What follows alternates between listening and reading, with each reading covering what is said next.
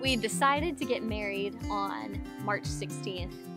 On March 16th. Explain the wedding day. You need to go back to Friday.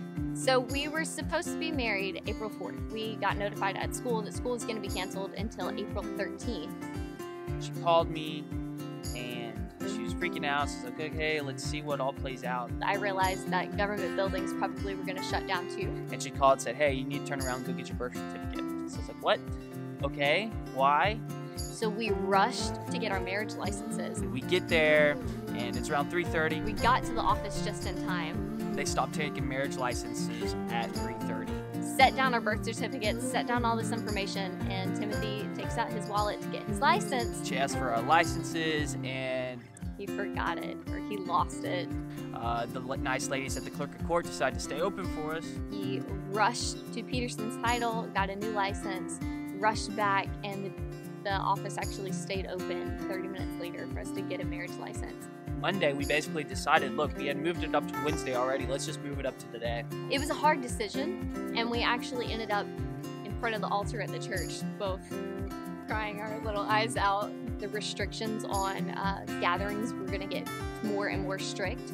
If we wanted even just our family and our parents and siblings to be there, it had to be that day. So we got Bo. We both got ready in a couple of hours, and um, we got married that night.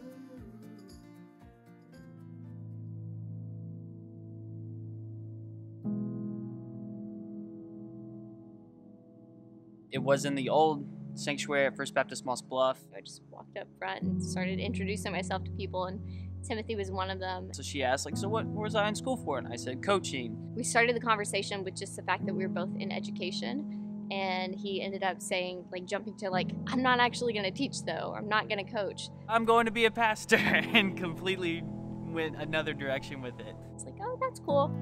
I'm not interested. And just that was the end of it, and I didn't really talk to him again for a while, for a few months. So the proposal, I am a sentimental person, and so was Leigha. We went to Lafayette to our favorite restaurant uh, called Spoonbills. We have these uh, photo albums, we have the mugs, and we have some other little trinkets and notes that we written back and forth. and then went to Sam Houston Jones Park, which is just a park that we would go to for our weekly date. Drove into the park, playing the song that we both love so much called Long Road Home by Imaginary Future. And he proposed with a picnic with all of the little memorabilia from the time that we were dating, including the mugs from our first date, like cards I had written. It was really sweet. It's right before your eyes. If there's a bright big world you feel inside, it's because there's a whole lot to love.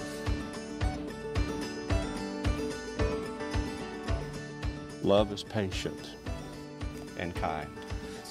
Love does not envy, and love does not boast. It's not arrogant, and it's not rude.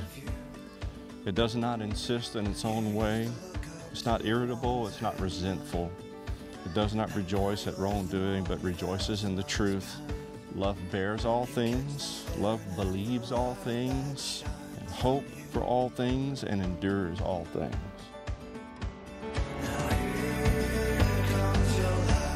Timothy, do you take this woman to be your wedded wife? Leigha, do you take this man to be your wedded husband? Absolutely, I do. I do.